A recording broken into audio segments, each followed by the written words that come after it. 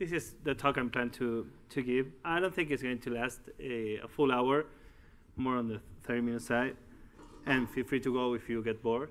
And, and you, you need to, I'm, I'm sorry for my English. I'm not uh, from the US. I come all over from Uruguay. So if you understand, don't understand something, just raise your hand, say, hey, please repeat it, and I will, hopefully I will do it better the next time. Okay, there we go. Reimagine JavaScript and React development. How many of you know JavaScript? I guess pretty much. And React? Yeah, it's not the same thing, right? There was less hands raising that one. Okay, first, who am I?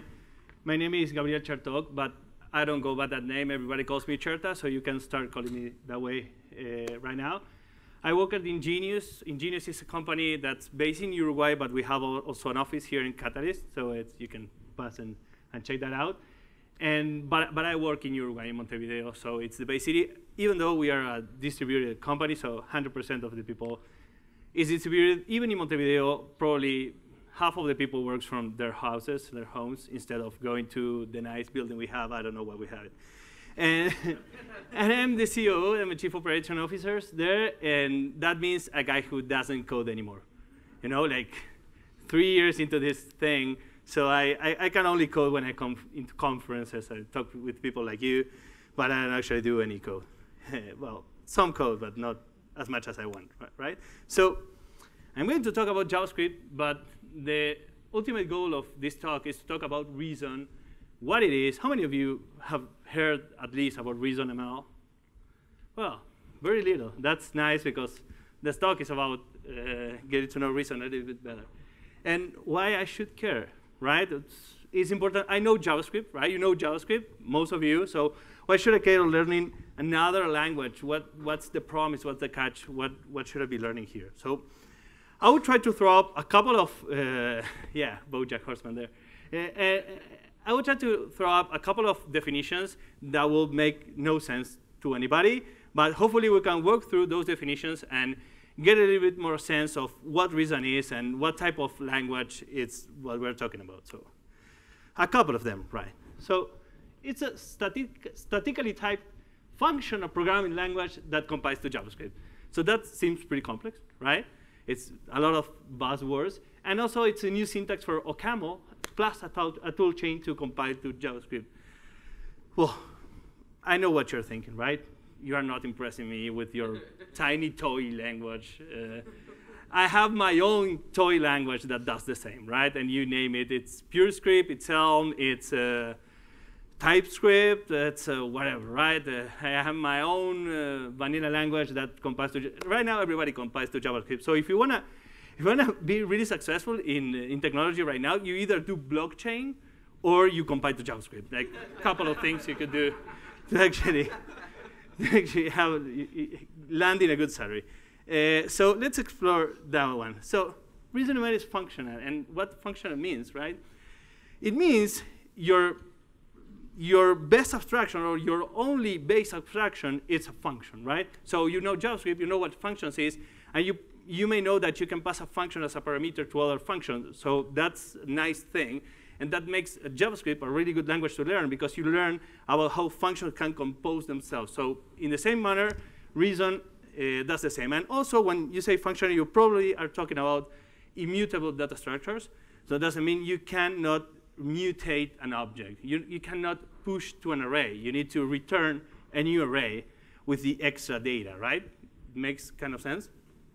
So, but what statically typed means, right? It's, I don't know if you can see it, it barely see, but I'm sorry. But I will try to walk through, right? Statically typed means you can get to write your types while you're typing your code instead of gaining those types while you're executing it, right? So this uh, has a couple of advantages. First, your compiler on your program knows beforehand what is going to be there, right? I cannot add a number, a string, because it won't work, right? Well, I, I, can do it in JavaScript, right? How many of us have done it? But it will concatenate the string with the number. It won't do the things you are actually wanted to do, right?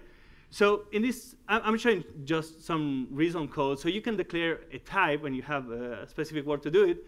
And it really looked like a JSON object. It's called a record, but anyway. And this type will have an ID, which is the type int, and will have a name, which is a type string. And then you can have a state, which you can have a list of models that you defined previously, and uh, loading and a message, and this nice uh, optional thing we will talk about uh, in a bit, right? So get, having types, it, it's usually some good thing I want to have, right? But it comes with uh, some drawbacks, but uh, the drawback is you need to specify the type, right? It won't, it won't do the thing you, that you want if you don't specify it, but still something you may want to have. And the, the, other thing is it has a sound type system. It, when it means a sound type system, it means everything you wrote on the type is going to be true. It will remain true while you are executing your program. So if you said this thing is an int, it will remain an int while executing it or won't compile at all. So there is no, I will say this is, this is not true, but for the sake of this talk, it's true. It will have runtime uh, exceptions, right? For reason, this is, you have that. Like, for reason, this is not true, but for statically typed functional programming languages, this is true. And you will have, uh, uh, you either compile and have no runtime exceptions, or have then and you don't have the compile step. You can have a transpiled step, but not the compile one, right? So this is the other thing. So I, I was saying having typed is, is something you, you will like to have, right? It will make your code a little bit better, a little bit faster probably also, but writing types, how many of you have done like Java, C Sharp? I, have done, yeah, I'm sorry for you, but we all kind of did it, right?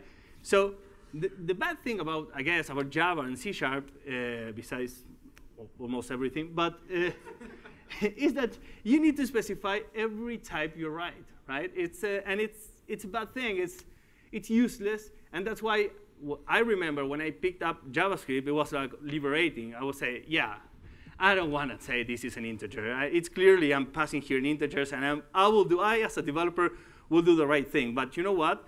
We as developers we never do the right thing. We add numbers and strings and object even, right? And you, we get weird nan stuff, and people start complaining about JavaScript. But at that time, it seemed like useful. So I guess this type system Reason has, and it, this is not uh, specifically to Reason, but to everything, has a great thing of having inference on type. So I have a, can you read that? Yeah, it's, it's, it's readable. So it's great because it looks like JavaScript, and, and, but it's not. So that's one of the coolest things about Reason. So it has the let operator, which is binding some name to something out there, which is add, and it's a function, an arrow function, and there are no other functions in, in Reason. It's, uh, it's arrow or nothing, where you can, I'm, I'm adding two, two numbers, probably, I'm, I'm sending add one and r as a string, and it tells me, hey, this is not, this is not correct. This, I'm not combining. That, why this, uh, we have this It's because the plus, it's only intent to add integers. So this is a little bit cumbersome because if you want to concatenate strings, then you need a new, a new operand. You, can use, you cannot use the add. In Reason, it's like a plus plus instead of just a plus. But this is a slightly different uh, approach, but it makes a huge difference, right? When I'm saying I'm, I'm adding something with a plus, I'm always adding two integers. So it's able to come and say, hey, this expression has the type string, but uh, I'm expecting an integer. So go fix whatever needs to be fixed. And it won't compile and it won't uh, generate any JavaScript at the end, right? A little bit more. Ah, I have my, I, I add reminders to my slides because I keep forgetting, you know, I, I need to show you some samples. So a little bit on the expressiveness of the type system. But for me, this is, you know, very personal. For me, it's more expressive than Java. Somebody can argue that Java is nicer and better, or maybe Kotlin or whatever, right? But for me, it's more expressive. And it has the three things that I really like, which is variants, pattern matching, and type arguments. And we will look at, hopefully, a web browser. It works, yeah. So it's a demo and it works, so that's great. This is the, oh, you are not seeing it. Gosh. And I'm not seeing anything. Okay, technical problems. One second. Mm -hmm, Exit, exit. Yeah, definitely. That's what we want, exit. Can you see this? No, probably not. It's too small. But you can see that, right? Okay, this is the try reason console. The, the idea of this console is you write some reason there. We have this part which we won't talk about right now, the OCaml and the generated JavaScript because reason, as I told you, generate JavaScript. But the cool thing is you can come here and declare the same thing, declare the same thing we have. And we have these type, these special types, which are variant types. So I can say action will, will have either create, update, success with something, with a model thing on it, right? Delete or delete success with an ID. And if you see ID here, it's, uh, it's an int, right? So this kind of thing help you a lot when expressing your code, right? It's not that you are saying you need to have a class and then an inheritance with every different type. Now I can have an action type where down there and make it value this all these things I need to make it value, right? So this is great, so great. And the cool thing about it is you don't need to even worry about having the old branches of the switch. So we have pattern matching pattern match is something that it works with the variant, right? I have an action type that can be create, update, whatever, right? So I can pattern match my, the action that is coming. And this is a reducer. How many of you know Redux? You have used it sometime. Well, this is the same idea. So I got a, an initial state, and, and then I have a, an action. I will return a new state as a result of it, right? And this looks really like JavaScript, hopefully. So I can switch one action and say, OK, if it is success, I will do something. It doesn't matter what, what I will do, right? And if it is create, I will do this other stuff or update or delete. And then keep, and that was not implemented yet. It's way to know. Great, I added comments to my own code, right? Because this is something I copied and pasted from, from some code that was working. So this is a cool thing. I, I can pattern match this action. And the cool thing is if I forget something, let's say I, I don't add the create, so bear with me the compiler, the compli the compiler, reason compiler will tell you, you forgot to handle a possible value here, for example, create. And this is great because this means we have a, a sound type system. It will type check everything, and if you try to pattern match something that's missing, it will let you know, and again, it won't compile. Are you stick with me? Yeah, still? Yeah, okay, that's nice. I'm not, but are we there? Yeah. So, and the last thing I wanted to sell to, to sell you, yeah, it's selling you, is that it's very close to JavaScript, right? It even has a JS package where you can use regular uh, JavaScript functions like log. This is similar to doing console log, right? So that thing, I guess, it will either compile in JavaScript. It will be valid JavaScript. So for me, that coming from JavaScript, a couple of years, no, no couple, maybe 10 years doing JavaScript, it's a big win, right? having a functional programming language that's statically typed, that I can read and is not total nonsense or has a lot of parentheses like Clojure, it's something I, I really like, yeah, you know. But I lied to you, I lied to you because I said this uh, reason compiles to JavaScript, and that's not entirely true, right? What reason does, it's compiling to the OCaml AST. Do you know what an AST, outer syntax tree, is? It's the representation of the code in a tree actually.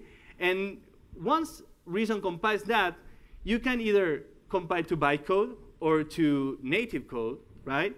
Or you can have another tool that's called BuckleScript, and it's a project separated from the Reason project, but it's very tight and they work together. And you can generate JavaScript out of that OCaml AST. So basically for doing Reason, there are two parts. Reason itself and BuckleScript that actually compile your Reason code or your OCaml AST into the JavaScript world. And that's the nice part about the right-hand side of the try reason. You get all the JavaScript that BuckleScript actually uh, export.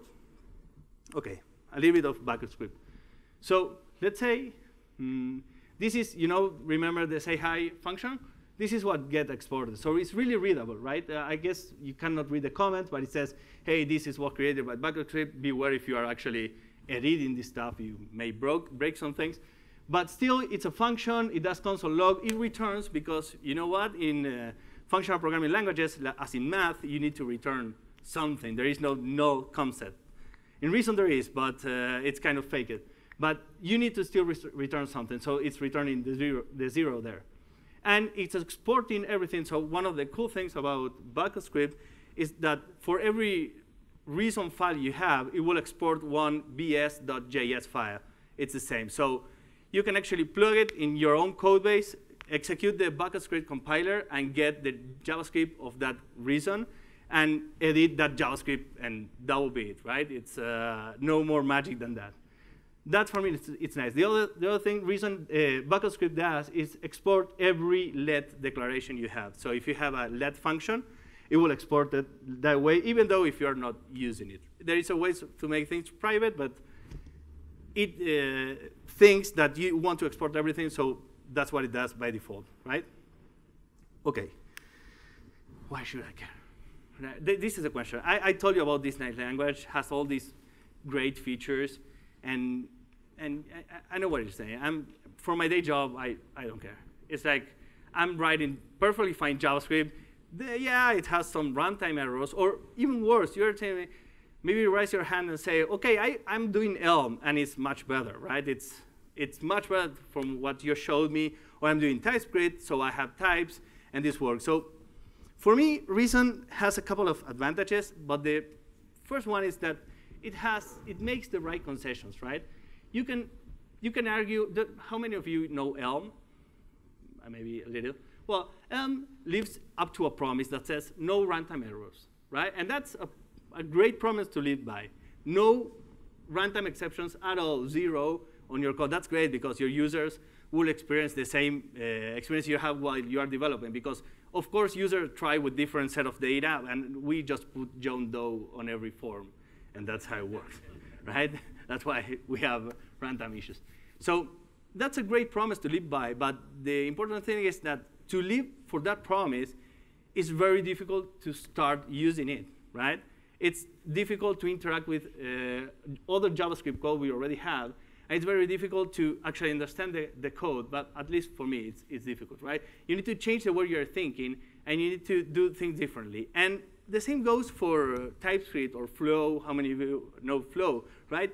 You, you can argue that TypeScript has types, it's really expressive. You, you cannot have the variants, but still you can do things and a lot of things and type check all your code. But when you need to bend your type system in order to, you know, do something impure or something that TypeScript wouldn't like, it will let you. You can put any on TypeScript and, you know, problem solved. I just put any on this variable and go away.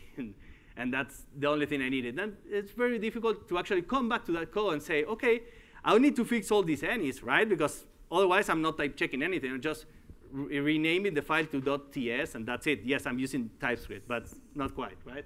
So for me, Reason makes really good concessions, allowing you to write 100% functional code, but at the same time, giving you the right escape hatches. And this part of the talk is about how you use those escape hatches and how the Reason team, which is actually at Facebook, this is a Facebook project, it's open source, but it's led by Facebook, and it's also led by the people who created React. So that's, if you are interested on those people who is very smart, you can think they are put the same amount of effort that they put in React in, in this recent thing. So for me, that works great. And it works great because you can do things like this, right? You can do fetch. Uh, how many of you have tried to, to do I.O. on a functional, 100% functional programming language? I don't know how many, but I try and it's difficult, right? Because I.O. is unpredictable it's something that you're going to a server, it may or may not be there. So you need to guarantee for a 100% functional programming uh, program, you need to guarantee the result of, the, of that I.O. that's impossible to predict. The server may not be there, you may have no connectivity, the input may be wrong, right? So doing I.O. in any kind, going to a disk, it's, it's hard for functional programming. It's not impossible, but it's kind of tricky. So this is the way you, you do side effects or, or I.O. in Reason. So you ignore whatever comes there because remember I told you you need to return something on a functional programming language because it's like mathematics, so you need to actually return something. They give you that uh, think of, okay, I'm going to, everything that's here, ignore the result, right? And you can use a promise, and this is, uh, we can see the transpile call, but this is uh, trans to, or compiles to a regular promise in JavaScript, right? And you can do fetch and actually fetch whatever you need. And have you seen the pipe operator? It's actually turning the thing down. So instead of doing resolve of the code object of JSON, does it the other way around. It's the only thing you need to know. And it doesn't matter how it works by currying and you only need to know that instead of doing that chained thing the, the other way around, the opposite, you can do you can use the pipe, right? So doing side effects, it's easy. At least it's easy for me in uh, in Reason. There's a lot of things that are are really cool. The other thing I really like, Elm does it this way as well. You can have your own package JSON, and you and that's the only thing you need to run Reason, right? You, it's a npm package that you install. It's called BS Platform, BS for BuckleScript, and you got everything going. And the only thing it requires you is to, hey, please give me another file that's called bsconfig.json who says which dependencies of the package manager are I need to transpile, I need to take in consideration when compiling. So having to not learn another package manager, for me, it's like a plus, right? Just writing this bsconfig on the right, and that's it. And if you see this, I'm using BS fetch, BS Axios, isomorphic fetch, all that. And, but I'm just only using fetch as the dependency, real dependency of that. That's because I was testing some stuff. And all the same um, package JSON can remain untouched. I just add some dependencies, and all the reason dependencies are actually NPM packages. So let's start to do it. Let's say you, you're writing reason, and for some reason, you actually don't want to do it. You're too tired to actually think about types, or you have a function that really solves it in a different way. So what I can do? Well, there is a directive that's called raw, or BS raw, which you can actually throw a string in JavaScript, and it will do what you expect. It will compile that add function to this uh, a plus b, but without type checking anything. But still, you have a, a, a great escape hatch of actually, you know, saying, OK, I don't know how to do this with types. It will be super complex. It's not compiling. I will comment all this code and put the raw JavaScript there and pray for the best, right? But it's still the same JavaScript, but now it's inside Reason, which is cooler. So, so let's so let's go here. Okay. So now my oh, okay, some warnings. It's not like a real thing. Okay. So we have the same thing here. And important is how it transpiles or it compiles, right? So it has the add, and it's a var, and it has the thing you expected to have right here. And this is exactly this, right? So it's transpiling whatever you put in there. So we can, let's say, we do this. I hope it works. Yeah, I got reference. Yeah, sorry. You know, that's transpiling ex exactly that. So worst, worst, you just put raw there and do JavaScript as usual. But it has some other stuff. Mm -hmm.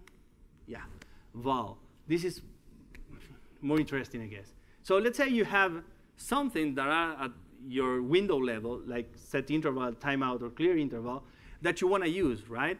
And you actually want to state type. You don't want to do, you can do raw and do this whole thing I'm doing, and that will be fine. But Let's say you want to keep doing with the type because we agree that types are good and something you want to have, right?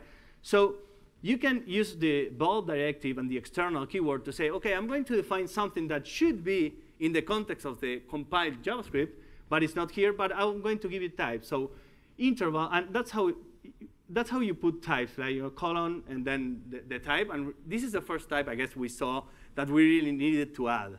Other, the other stuff was actually inferred by reason, right? But now I'm saying it's something interval is a function that will return a float, and it will take a function as the first parameter that takes nothing, that's what units is about, and returns nothing. And the second parameter, it's an integer, which is the amount of milliseconds you want to timeout be the interval uh, being called, right? Or your callback being called in the interval. So the same for timeout, and the same for clear interval is uh, it receives a float and uh, returns nothing, right? returns a unit.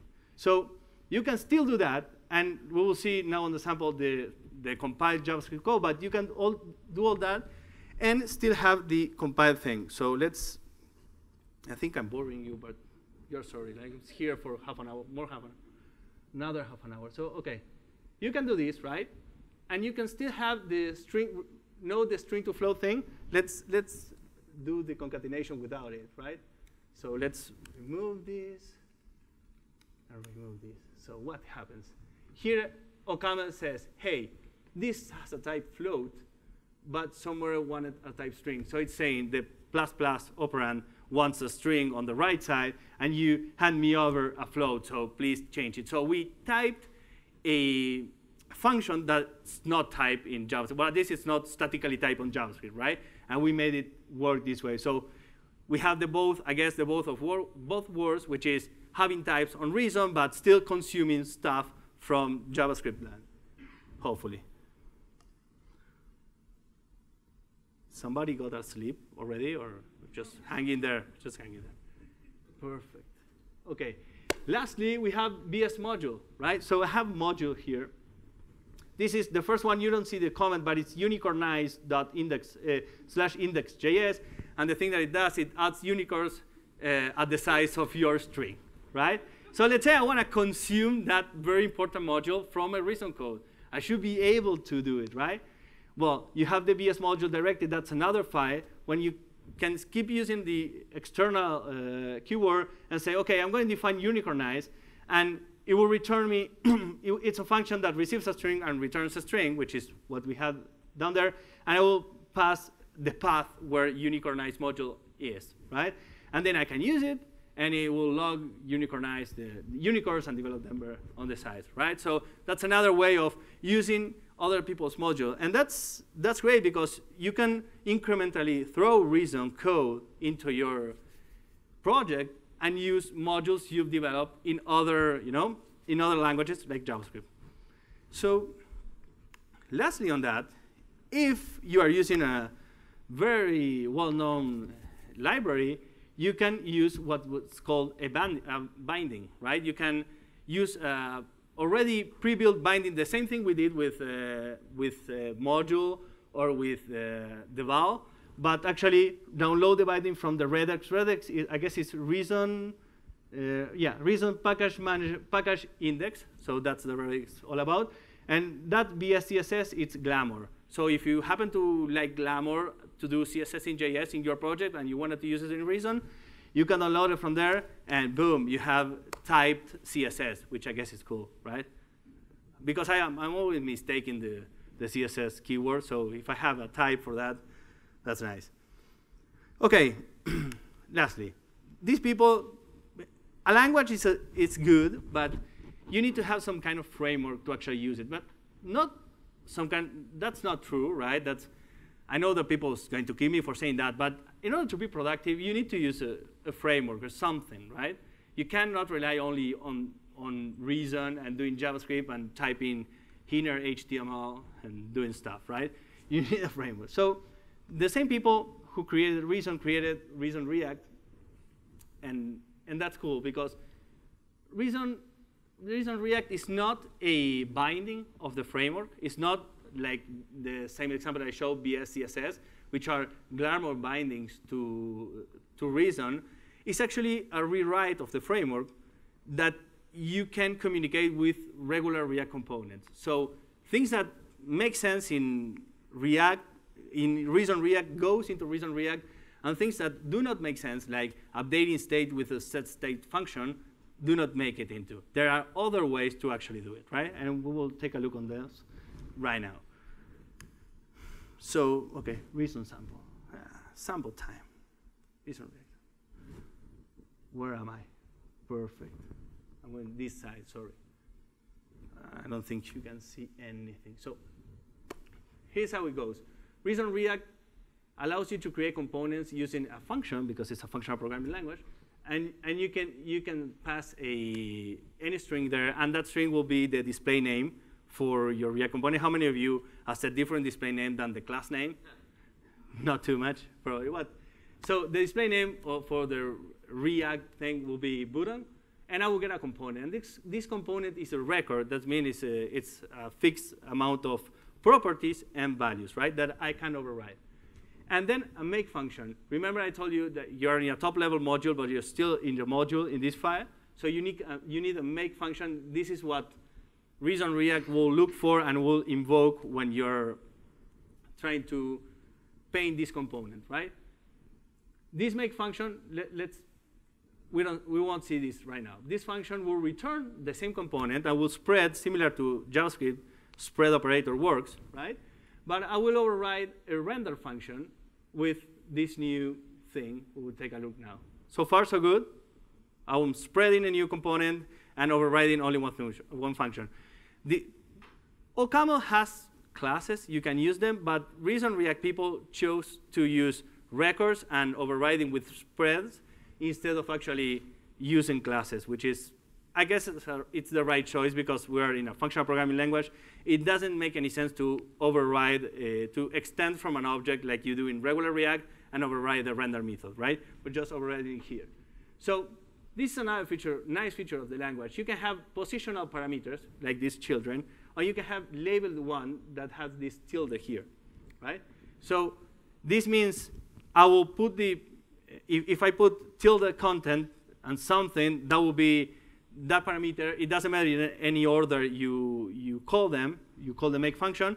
And last parameter will be children. That's a positional instead of a labeled one. That's, that's another thing. And the reason React team translated this into props and children. So yeah, a labeled parameter is a prop. So I, will, I can pass a content prop here and the children is the last thing you have. So it's, it's, a convention, right? It will always require children. And if you happen to know a little bit of functional programming, because the compiler is checking your types, because and because I'm not using children, I just underscore it for the compiler to not give me a warning, hey, you're not using children. We can see how it, how it complies it says, right, you use variable children. So if you wanna, uh, if you need to pass that because otherwise it won't compile, right? If, if I remove children from here, it will tell me, hey, I'm passing you uh, a last parameter and you're not, the, make function doesn't have it, right? So I just put the underscore. The same, same with the self, you don't need to know what self is right now. But the cool thing is that this other stuff, this question mark means this is a maybe type. So remember we said that uh, this is fully typed. So as in a prop, you can pass a prop or not pass it, right? So how do we model that in a functional programming language? Well, you should say, hey, it may be there or it may not. And the cool thing about this, you can, you can say with that question mark, and the cool thing about doing this is once I wanted to use it, Reason or OCaml compiler will tell me, hey, you need to handle the case where nothing gets passed. And how many of you have uh, failing React component because somebody didn't pass a prop? Uh, I have, it happened to me, right? So it, because it, everything is typed, it will let you, it, it, will let you do, hey, I will switch context, I will pattern match this, and this is a special type that's some, and you have something, and this is a, the, the test I pass to content, so I will output content, or none, which is nobody pass anything to this make function, and I will put default, right? And uh, here you have hello Denver. Let's change that. Let's not pass any context, right?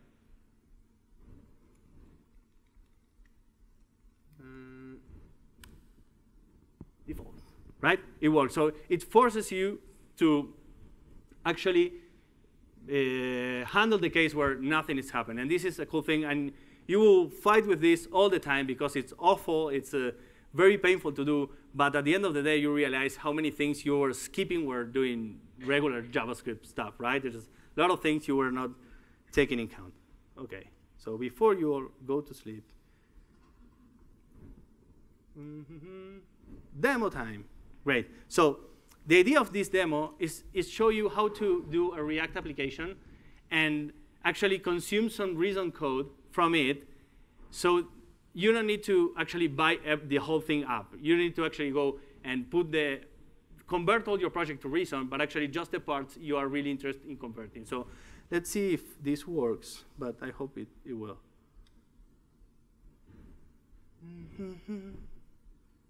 Perfect, here, nobody can see anything. I hope you can see that, right?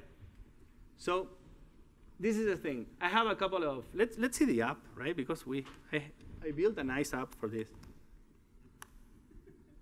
It will take some time, and this all the, the, Denver, the develop Denver talks, because I will tell you, they're exposing a JSON file that has no CORS, so I was able to actually grab it and list everything. but that's nice, that was nice, because uh, I could use it for, for my demo, right? So some part of this uh, application is, is regular React and JavaScript, and some others uh, is just Reason code, right? Doing his stuff. So let's see which part is which. And I built the two samples. I built, the, but we're running out of time. I don't want to bore you anymore. But this is a final version, which I have an app right here. So, you know, regular stuff. I'll do a fetch on did mount and go to here. You should definitely put some CORS rules there. I will, I will put this, I will interpret the JSON and put the data. And I added a delay. I don't know why. I really wanted to show that this was uh, coming from the server. And I map over a talk, compo talk component. And this talk component is over here. It's JavaScript, right? But the only trick is that this uh, small component, it's coming from, from Reason. So if you have a BS, like it, the, the norm is BuckleScript will output whatever .bs.js, so you know it's generated from BuckleScript and not a coworker did it, right? So I'm using this profile picture here as a regular React component and passing props and all that, and, it, and it's working. So let's see how that other thing was built. You see, you can see here. here. Well, this is a little styling, but I have my make function, right? Remember, it took a source name, a class name that may not be there or not be there. Let's collapse this one. May or may not be there. An author name and some children that, that I actually don't need. Then this is the tiny profile picture we saw in the, not the big one, but the profile one. So I'm creating a stated component and overriding render using a div, whatever, and using an image passing the source, this is the same as doing equals source, right? It's uh, reason is the same thing. And handing over a class name that says, okay, I will pass you some style and another thing. Uh, if you pass me another class name, I will pass it here, right? So the great thing about this is I'm consuming this image, which is also a reason component. And it's pretty simple, but it receives a source, an alternative name, uh, maybe class name, and some children that I won't be using, right? So I'm here in reason land, writing reason React, right? And having types, so I can make, I can come here and says, okay, I won't pass you the source. And please, yeah, it, it worked. So it's telling me, hey, the image component, which is also happened to be written in reason, wants the source thing. So you either pass it or you need to pass it something or go to that image component and change it. So how many bugs have you found in production when you just change a component that was used by everybody and you now make a prop optional or uh, on, on the contrary and everything broke, right? So it doesn't happen here in Reason. But let's go back. So I will say, yeah, I will pass you the source. And this is the only thing I had to do to actually make this component React aware. I won't get into much detail about this, but it involves having a type, the ones we already saw, having a BuckleScript directive that says it's deriving. This is makes this type behave as a record and not as a hash because object in JavaScript can be hashes or record types, right? It says, hey, you, this is a record. And it tells you, hey, I will have a source, a, uh, an author name, and a nullable string, which is the class name, which is, again, a maybe type, something that may be null, right? We need to defend ourselves because we're coming from JavaScript. JavaScript is calling us, right? And then you have this function that the, this wrap reason for JS will call that will say, OK, call make, the same make function, I have it here, right? Call make and pass the props and the nullable thing and the author name and then pass the children. This is this translates in Reason as an array in JavaScript. So, and that's a, another good thing. The children in Reason React are typed, and it's an array. So you cannot pass only one thing. You need to have a special syntax for it because it's, everything is typed. So with this amount of code, I was able to create my Reason component in Reason React, and then export it to React and use it as any regular component, right? So I think it's pretty neat. And again, I guess again, using this image component, which, which was also written in, in Reason, and I type checking all that, right? And it's 100% guarantee that this will work and the, and the type system will keep working with this. Okay, mm, finally, oh, conclusions. The whole point, if, you, if you're going to have something from this talk, is that you don't need to actually grab all your code and put it into Reason or do it in some other language. It can be incremental. I have an application that I just showed you that has an extra NPM task to compile Reason to JavaScript, and then you can version your JavaScript files generated by BuckleScript in the same way you, if they were authored by you. So for me, Reason is a good alternative of actually stepping into the functional programming without compromising the whole project. So it's, a, it's an easier sell to a manager because no manager will tell you, yeah, well, we're doing Elm, you know? No more talking. We're doing it forever. Everybody needs to learn Elm. Somebody kind of, some places can afford that, but most places will still need to grow their own uh, JavaScript environment, right? And they still need to code on JavaScript. So for me, Reason and BuckleScript have the best of the both worlds. You can author Reason code, you can author JavaScript code and consume it. There is also another example, which is consuming a React component from Reason. We don't need to talk about, we, we talk about how to do it with regular JavaScript code. So if you're going to take something from this talk is you can start using it today. It's super simple. It's just one NPM install away. You can do whatever you want. You can even type, eh, have a Reason file and put BS raw and write JavaScript. And you will be using Reason and you can put it on resume. Hey, I've used Reason. but it's something, uh, take that advice. You can start using it today. Uh, I am using it at Ingenious. We are using it. We're very pleased uh, that it's working. And thank you. Have anything else? Questions?